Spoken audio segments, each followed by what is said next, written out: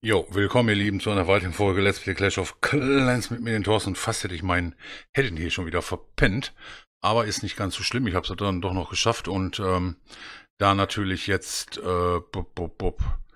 wie war das nochmal? Da natürlich ähm, Amazon immer noch keine Haarschnitte verkauft, muss ich doch mal zum Friseur gehen. Aber die, die mich ja am Wochenende im Livestream gesehen haben, haben ja schon gesehen, dass ich mich das getraut habe. Aber es gibt auch noch andere Leute, die sich was trauen.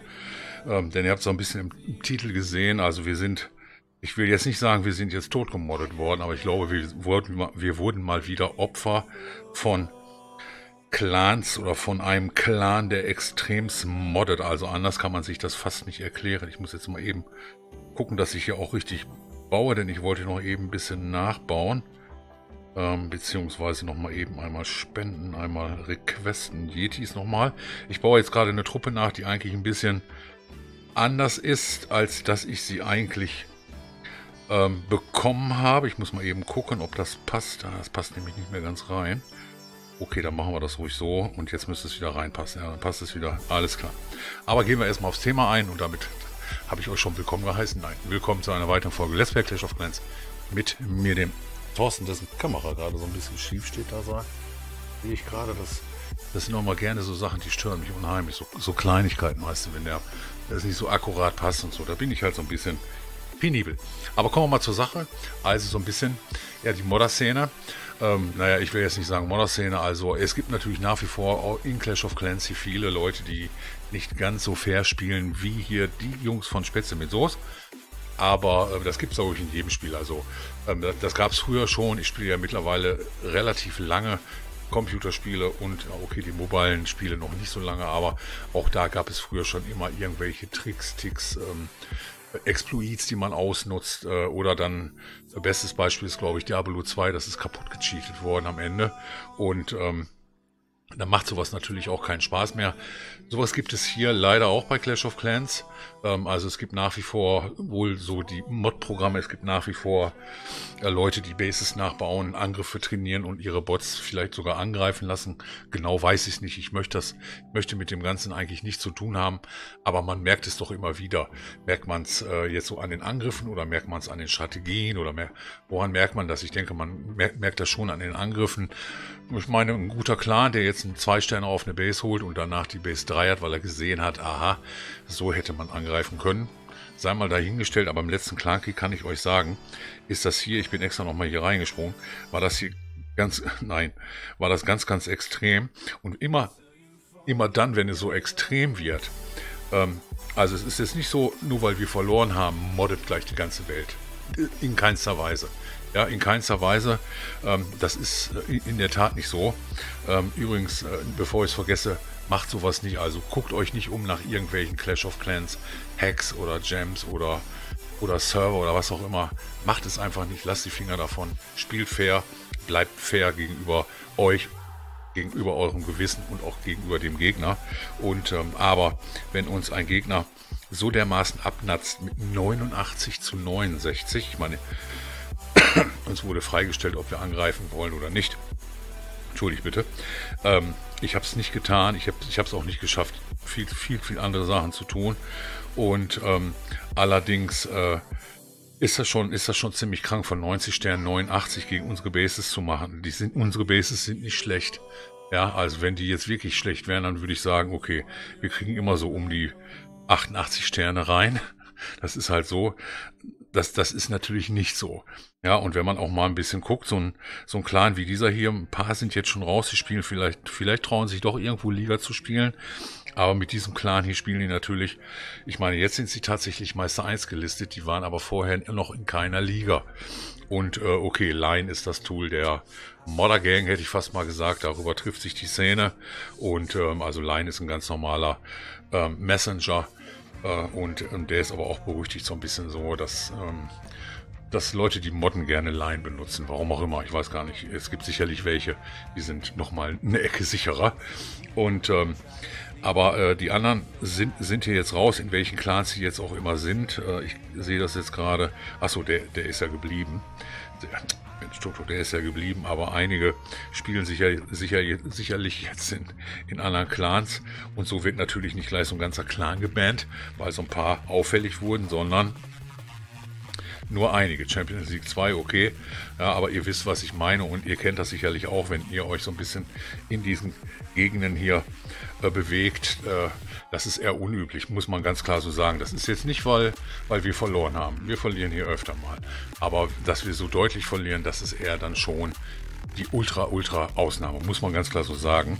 Und ähm, deswegen äh, manchmal ich will jetzt nicht sagen, dass es auch auffällt, aber ich glaube, ich habe hier von den paar Angriffen, ich habe mir gar nicht viele angeschaut. Ähm, Only Hybrid, alles mit Hybrid, also da war so gut wie nichts mit Yeti Smash oder Drachen oder mal so ein Exot mit dem Golaloon oder sowas, gar nichts. Und ähm, so kannst du natürlich relativ viel Bases knacken, ja, mag sein. Vielleicht haben sich da auch 40 Leute cool getroffen, die einfach nur gut drauf sind und gemeint haben, so den hauen wir jetzt mal fast ein Perfect War rein was ich aber nicht so wirklich glaube. Ich glaube es nicht. Könnt ihr gerne mal in die Kommentare schreiben, ob ihr das auch schon mal erlebt habt oder ihr so, ihr so ein bisschen der Meinung seid, da geht was nicht mit rechten Dingen zu. Ich meine, wie gesagt, es ist nichts dagegen, dass wir auch ab und zu mal verlieren ähm, und meinen dann, die ganze Welt moddet dann gleich gegen uns in keinster Weise. Ja, Gute CKs merkt, merkt man so ein bisschen, sage ich mal, äh, und auch gute Angreifer, aber äh, dass es dann so extremst ist, dass... Ähm, ist, äh, glaube ich, eher die Ausnahme. Und hm, da liegt die Vermutung einfach so ein bisschen nahe. So will ich das mal sagen. Ich will jetzt die Spätzle mit Soße nicht in Schutz nehmen, aber ich weiß, dass wir hier halt absolut Fair-to-Play spielen. Und ähm, ja auch schon mal wegen der einen oder anderen krummen Sache ähm, aus der ESL, vom ESL-Qualifier ähm, aus, nicht, nicht ausgeschieden sind, sondern disqualifiziert wurden, weil jemand halt mal einen Screenshot am Emulator gemacht hat. Das ist auch nicht erlaubt und damit aufgeflogen ist. Und ähm, ist natürlich dann auch nicht im Sinne des Erfinders, also auch da sollte man dann wenigstens ein bisschen genauer darüber nachdenken, was man denn da eigentlich gerade tut und wegschickt. Aber sei es drum. Ähm, einige Dreier gab es dann ja doch noch auf unserer Seite. Also es ist jetzt nicht so, dass wir dann, also ich, ich habe kampflos auf, aufgegeben, ja, auch zeitmäßig. Allerdings ähm, wurde angesagt, ihr braucht das nicht machen, macht das einfach, um ein bisschen zu üben. Klar, hätte ich natürlich auch noch machen können, zwar angefangen, aber jetzt habe ich eben so ein bisschen schon mal so ein bisschen angehittet, ein bisschen geübt. Im Moment muss ich sagen, bin ich mit dem 13er hier eher, ähm, na, wie soll ich sagen, ein klein wenig demotiviert, weil halt nichts Neues kommt. Ich meine, dann kommt auch mal bei mir so eine Phase, da kann ich dann plötzlich tatsächlich auch so ein Spiel äh, denn, denn nicht mehr in den Himmel loben. Ich meine, ich lobe es natürlich in den Himmel, aber das, was, was alle so ein bisschen erwarten, vielleicht so ein kleines Update, eine Truppe mehr oder ein, oder ein Bäumchen mehr, was auch immer, ähm, das äh, ist, ist sicherlich drin und dann wartet man dann natürlich auch so ein bisschen drauf, dass man wieder ein bisschen was ausgeben kann. Vielleicht kommt ja auch so eine absolute Ultraneuerung, sodass du deinen Stuff auch immer wieder los wirst, also dein überschüssiges, nicht überschüssiges Potenzial, sondern eher deine überschüssigen Ressourcen und ähm, dann ist sicherlich auch äh, wieder so ein bisschen hier in diesem Bereich der Spaß drin, aber ich hatte ja schon vor ein paar Tagen in, Erwähn in Erwähnung, Erwähnung gezogen, dass ich, ähm, naja, vielleicht jetzt doch mal so ganz langsam Richtung Legende gehe. Ja, mal gucken ich gewinne jetzt einfach immer jeden Kampf und dann gucken wir mal, wo wir, wo wir so landen. Am Monatsende Season hat ja gerade angefangen. Ich mache mal meine Tagesangriffe immer, äh, weil so richtig Farm ist ja nicht. Und ähm, aber sobald meine Armee fertig ist, habe ich mir jetzt vorgenommen, greifst du mit der an und machst einfach das Beste draus. Also so anders kann ich nicht sagen. Äh, mal gucken, der Tyrann hier, der Martin, hat hier angegriffen auf die Nummer 15, auch mit, ah, ne, mit Yeti Smash, okay, 100% mit Yeti Smash ist seltener geworden, aber es gibt es natürlich noch. Keine Frage. Sprungzauber, drei Wutzauber und vier Erdbebenzauber kann man so machen. Man kann auch einen Wut noch vielleicht mit zwei Fries verbinden oder gegen zwei Fries noch tauschen. Allerdings ist zwei Wut dann auch schon ein bisschen zu wenig für so eine große Base. Deswegen sagen sich viele, lieber durchwuteln hier so eine Base oder durchragen, als dass man zwei Fries irgendwo vielleicht noch auch noch einen verballert oder so. Dann ist sicherlich besser, man nimmt gleich drei Wut mit und kommt hier ähm, relativ sauber dann durch diese Base durch mit seinen Truppen. Erst das Scattershot-Feld hier. In der Mitte wird jetzt ein bisschen gefrostet. Ich gehe mal ein bisschen näher rein. Aber ihr habt ja gestern schon mitgekriegt, mein im Moment tatsächlich mein favorisiertes Rathaus ist Rathaus 12 zurzeit. Und ähm, nicht, weil ich da gestern mal auch zufällig drei Stellen mitgeholt habe, sondern eher, weil es im Moment wirklich Spaß macht, da das viele Gold und das viele Elex ranzukarren für die ganzen Sachen, die man nach, noch updaten muss. Und ähm, das nimmt leider so ein bisschen ab. Ich meine, vielleicht sagt, sagt ihr, Toto, wenn du eine Legende bist, dann wirst du wieder den absolut geilen Superspaß haben an den acht Angriffen pro Tag, ähm, die ich vielleicht gar nicht alle schaffe. Mag ja sein. Und deswegen ähm, gebe ich natürlich hier nicht auf oder, mit, oder gebe mich nicht mit dem 13er auf. Es gibt reichlich zu tun bei mir mit, mit den anderen Accounts auch noch. Ähm, ich kriege jetzt noch einen frischen 9er mit dazu. Und äh, Chefkoch gerade so frisch 10 hat auch reichlich zu tun. Ich muss jetzt erstmal Bases klauen, bisschen modifizieren für die Liga und so weiter und so fort. Äh, Liga gehe ich übrigens erst morgen so ein bisschen drauf ein, weil viele Ligen starten erst heute oder heute Nacht ähm, deutscher Zeit. Und deswegen habe ich gedacht, ich wollte dieses wenigstens auch nicht vor der nächsten Wartung ähm, ver verpassen, um uns das so ein bisschen nahe zu bringen. Aber naja, wie gesagt, ich bin mir nicht ganz sicher, ob hier tot, ob hier gemoddet wurde oder nicht gemoddet wurde, keine Ahnung. Mittlerweile ist es ja auch so, dass wieder einige Spieler, die eigentlich schon auf den Bandlisten dieser Welt standen, wieder spielen können. Ich will nicht mal Eyewitness zeigen, was ist mit dem los hier? Wieso mal Eyewitness? Ich nehme mal ihn hier. Und ähm, sondern äh, Supercell im Moment oder vermutlich ähm, nicht mehr in die Vergangenheit guckt. Was hat der Spieler mal gemacht? Ist er schon mal, ich meine, wenn der Spieler schon mal gebannt wurde, dann äh, ist er sowieso raus, dann hat er den Account nicht mehr. Aber es gibt ja auch äh, Bands, die sind nicht ein Leben lang oder der, der Account ist weg, sondern es gibt natürlich auch Bands, die sind äh, wochenweise, zwei Wochen, ein Monat oder was auch immer.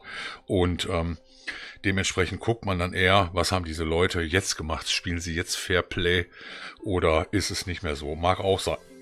Mag auch sein. Ich meine, wenn du mit einem Account raus bist, dann ist es eigentlich schon schwer rauszufinden, ah, jetzt hat er einen zweiten Account, woher auch immer, was weiß der Geier, gekauft, selber hochgezogen oder weiß der Geier.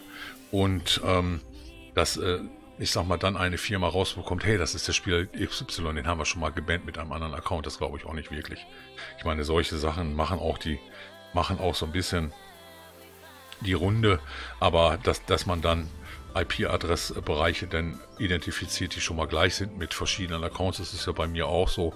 Ich komme ja auch mit einer IP nach außen, äh, wo ich ähm, etliche Accounts rüber spiele. Also da wird man ja mich, mich nicht gleich des Cheatens und Moddens oder des unfaire, der unfairen Spielweise ranbekommen. Schön gemacht hier auf die so ähnlich E2Base, andersrum auf den Kopf gestellt, hätte ich fast gesagt. Und äh, kommt übers Rathaus hier mit Hybridangriff auch. Die Hockrider gehen Richtung Rathaus zusammen mit dem Miner. Ist natürlich optimal gewählt hier worden, wird sicherlich gleich gezündet. Da ist das Rathaus aktiviert und fällt jetzt auch. Ähm, wir haben noch einen Sprungzauber, wir haben noch einen Wutzauber und zwei, da haben wir sie zwei ähm, Freeze-Zauber. So, der Wut kam hier aber nicht schlecht. Ich frage mich nur gerade, okay, Queen springt da nochmal. Der Warden geht da ja sowieso rüber. Und ähm, der Roll-Champion wird hier sicherlich gleich auch noch mit zur Ergänzung auf einer Flanke geschickt. Da kommt er raus, hier unten auf 18 Uhr, nicht ganz so 17 Uhr waren's Und ähm, hilft dann hier auf der auf der Ecke hier unten, macht er auch ganz, streift schon mal ein bisschen den, den Adler vor allen Dingen auch an und räumt hier unten noch knackig auf. Dann kann da schon Lucky und Loon ein bisschen zur Hilfe kommen. Und ähm, schön gemacht hier, aber ich glaube, äh, meine oder nicht meine, unsere Leute hier sind erfahren genug, dass sie hier so eine Base eigentlich immer ähm, legen. So eine weltbekannte Base oder ein weltbekanntes Design, wo schon etliche Leute verschiedene Taktiken drauf gemacht haben. Also durchaus übliche. Schön gemacht hier vom ja, klar, Apo, glaube ich. ich bin mir nicht ganz sicher. Ne, ich glaube nicht Apo. Äh, warte mal, Apo. K.O. Bo, Bo, Bo. Äh, ich frage mal nach. Ich muss mal in unserer Namensliste gucken. Sehr, sehr schwierig. Naja, egal. Ich wollte es nur für euch mal festhalten, aber ihr könnt ja selber mal eure Meinung reinpinnen und äh, wenn meine Helden jetzt gleich so weit sind und oh, meine Helden sind sogar so weit, dann kann ich mit dieser Truppe gleich angreifen. Ich mache noch einen kurzen Cut in äh, vier Sekunden. Okay, Leute, die vier Sekunden cutte ich euch jetzt auch nicht mehr. Das lohnt sich nicht. Dann gehen wir direkt in die Suche rein. Also ich habe eine Armee. Äh, das hat sich der Nico OWO gewünscht. Äh, das ist so ein bisschen Wunsch bei mir. Was, was heißt Wunsch? Das ist so ein bisschen gewünscht. Das kommt aus einer kleinen Applikation in meinen Livestreams. Da gibt es ein sogenanntes Glücksrad. Und das kann man dort mit Kanalpunkten kaufen. Oder ich lasse es ab und zu auch mal so einfach so laufen. Da kann man, äh, ich sag mal, Dorfbesuch gewinnen. Man kann in meine Friendslist reinlanden. Man kann ähm, mir einen Armeevorschlag machen, wie er das gemacht hat. Und mir ist eigentlich selber überlassen, ob ich das im Stream abarbeite oder ob ich sage, pass mal auf, schick mal eine Meldung. Ich arbeite das in einen meiner Folgen ab und das will ich jetzt auch machen. Also hat er mir diese Armee hier aufgedröhnt. Ähm, da muss ich natürlich reingehen. Und zwar vier Heiler, zwei Pekka, ein paar Bowler, ein Luftschiff. Hat er Luftschiff gerade gucken. Oh, von Lagerungsmaschine Mauervernichter, okay. Äh, okay, dann nehmen wir den mal. Hm. Bin ich, oder den habe ich schon ewig nicht mehr gesetzt, Leute.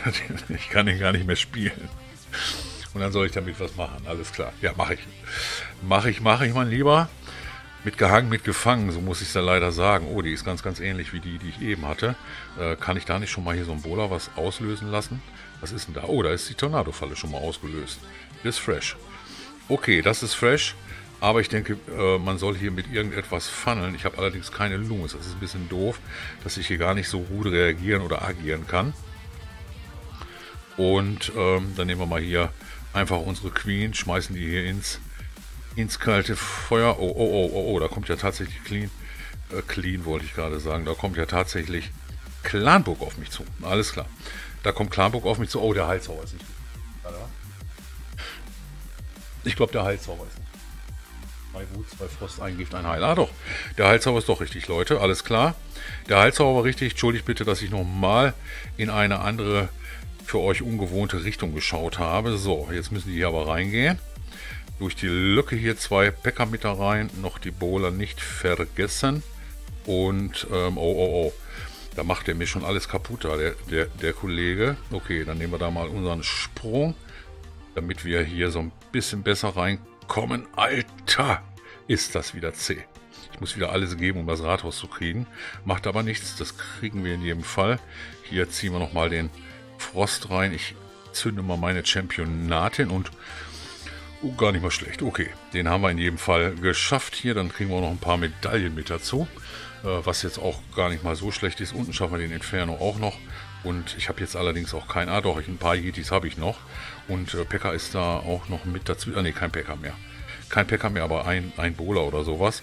Und außen gibt es jetzt nur noch Bombentürme.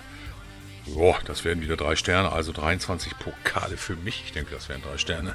Ich will das jetzt nicht callen, aber ich glaube, das wären drei Sterne. Und äh, so ähnlich wird das denn ja auch in der, denke ich mal, ähm, Legendenliga abgehen, dass man äh, schnell einen Angriff hat. Das war ja jetzt nicht lange gesucht. Ich glaube, das war gerade der erste Klick, ne? Kann das sein? glaube, das war sogar der erste Klick. Ja, müsste ich gleich nochmal zurückspulen. Und ähm, dann machen wir hier aber drei Sterne, 55 Sekunden noch Zeit. Ja, perfekt.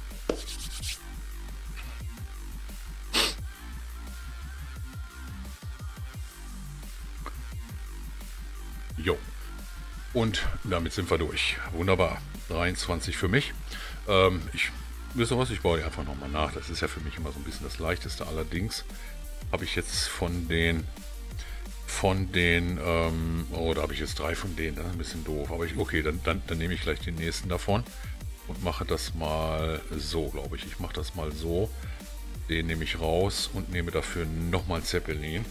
Äh, ich glaube, so machen wir das mal, ja. So passt das. Äh, hier fehlt jetzt gerade der Heil. Was habe ich nicht genommen? Oh ne, irgendwas fehlt da. Warte mal, irgendwas fehlt hier. Ah, okay. Da fehlte der Giftsauber. Alles klar. Jo, habe ich damit abgearbeitet. Nico, danke für den ähm, Armeevorschlag. Und oh, lang, lang, ich, es wird schon wieder eine, eine lange Folge, sehe ich gerade.